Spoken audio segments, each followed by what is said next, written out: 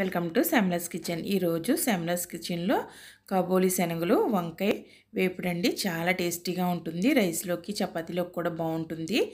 ఇప్పుడు నేను ఇక్కడ ఒక కప్పు శనగలు తీసుకున్నానండి. అవి శుభ్రంగా కడిగేసుకుని నానబెట్టుకోవాలండి. నానబెట్టుకుని ఉడికించుకోవాలి. కుక్కర్లో పెట్టుకుని వంకాయ ముక్కల్ని ఈ విధంగా కట్ చేసుకుని నీళ్ళలో వేసుకుని పక్కన పెట్టుకోవాలి. ఇప్పుడు స్టవ్ వెలిగించుకుని కళాయి పెట్టుకుని నాలుగు స్పూన్లు ఆయిల్ వేసుకోవాలి. ఆయిల్ వేడెక్కిన తర్వాత వంకాయ ముక్కలు వేసుకోవాలండి.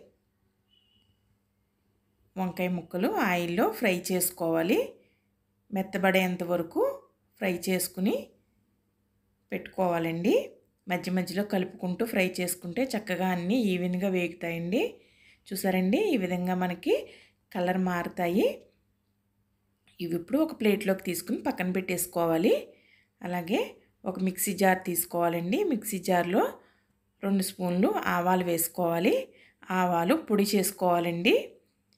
ఈ విధంగా పొడి చేసుకుని పక్కన పెట్టుకోవాలి. అదే మిక్సీ జార్లో ఒక ఇంచు అల్లం ముక్క తీసుకుని కొద్దిగా వాటర్ వేసుకుంటూ మెత్తగా పేస్ట్లా చేసుకోవాలి. ఇది కూడా పక్కన పెట్టుకోవాలండి. చూసారండి? శనగలు ఉడికించుకున్న తర్వాత ఇలా ఉంటాయి. ఇలా మెత్తగా ఉండాలి. ఉడికించుకున్న తర్వాత ఇప్పుడు మళ్ళీ కళాయిలో ఆయిల్ వేసుకుని అందులో సాయమినపప్పు రెండు స్పూన్లు పచ్చిశనగపప్పు ఒక స్పూను అలాగే ఆవాలు ఒక స్పూను పచ్చిమిర్చి ఒక ఐదారు పచ్చిమిర్చి అయితే సరిపోతాయండి. మీకు కారానికి తగినట్లుగా వేసుకోవాలి. ఒక స్పూన్ జీలకర్ర వేసుకోవాలి. ఇవి దోరగా ఫ్రై అయ్యేలాగా వేయించుకోవాలండి కలుపుకుంటూ ఈ విధంగా వేయించుకోవాలి. ఇప్పుడు ఇందులో ఎండుమిర్చి కరివేపాకు కూడా వేసుకుని వేయించుకోవాలి. అలాగే ముందుగా మిక్సీ పట్టుకున్న అల్లం వేసుకోవాలండి. ఇప్పుడు కలుపుకుంటూ పచ్చివాసన పోయేంత వరకు వేయించుకోవాలండి. ఇలా వేగిన తర్వాత ఇందులో ఒక స్పూను చింతపండు గుజ్జు వేసుకోవాలి. నేను ఇక్కడ చింతపండు గుజ్జు ఉందని వేసానండి మీరు ఒక నిమ్మకాయ సైజు అంతా గుజ్జు చిక్కగా తీసుకుని వేసుకోవచ్చు. అలా అయినా ఇప్పుడు కొద్దిగా పసుపు వేసుకుని ఒకసారి అంతా కలిసేలాగా కలుపుకుంటూ వేయించుకోవాలి. ఇప్పుడు మనం ముందుగా వేయించి పెట్టుకున్న వంకాయ ముక్కలు కూడా వేసేసుకోవాలండి.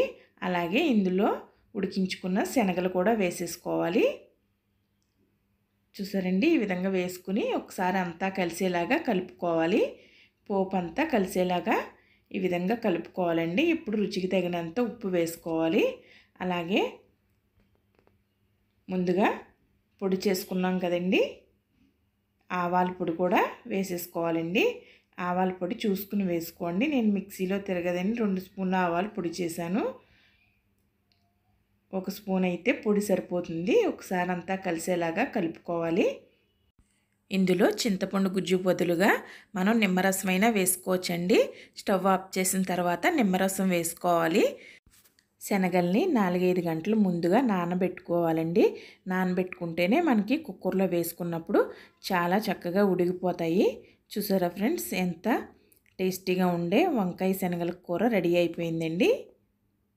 ఫ్రెండ్స్ ఈ వీడియో కనుక మీకు నచ్చినట్లయితే please subscribe my channel share చేయండి లైక్ చేయండి మీ సలహాలను కమెంట్స్ ద్వారా తెలియచేయండి. పక్కనున్న బెల్ని ప్రెస్ చేయడం మర్చిపోకండి.